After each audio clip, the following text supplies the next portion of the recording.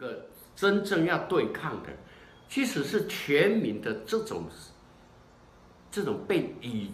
戒严时代的遗毒啊。嗯嗯，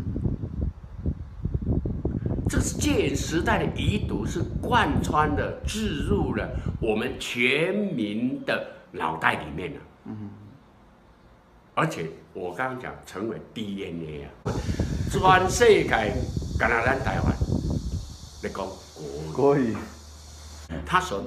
他所这个刻意的他这些语言，然后透过这些语言来宰制、宰制我们全民的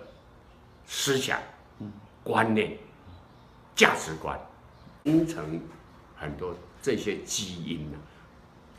然后这些基因是一代传一代哦，这个才可怕，嗯，这个基因是说，它的基因。嗯嗯嗯嗯嗯它是已经形成基因。比如说，咱的咱的一寡观念、一寡思想，咱对台湾历史的诶欠款诶欠缺，啊甲扭曲，嗯毋捌。嗯嘛，咱对咱的山林，吼、连简单讲，连讲日本是咱第二次世界大战台湾好多一国的飞机轰炸，安尼伊嘛是甲你，伊嘛毋知，伊嘛甲你讲是是日本。那台湾的山林，什么人甲咱找？伊规个杀这个鬼拢杀日本。我们整个台湾从国民政府来到台湾掌控以后，你看我们的教育体制，我们灌输了多少多少那种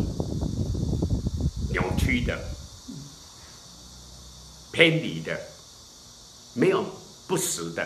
啊，就是说不实的，对台湾历史不实嘛，啊，规个拢无。所以咱咱较早拢会讲着讲啊，咱拢敢若知影长江黄河，毋知咱家己台湾诶诶河流，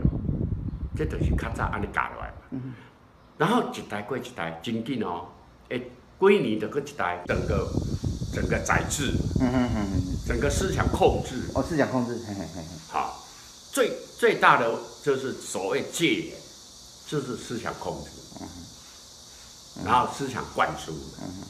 啊，包括历史，包括呃所有教育、文化、媒体，啊啊各种甚至文学啊，都是在他的掌控之下，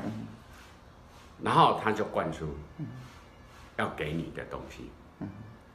好，所以我今麦咧讲的这些拢是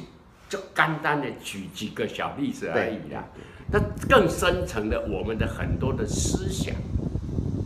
都还没有从没有从根从解没有解放没有都没有都没有，我们很容易就直接会流露出，就是在那。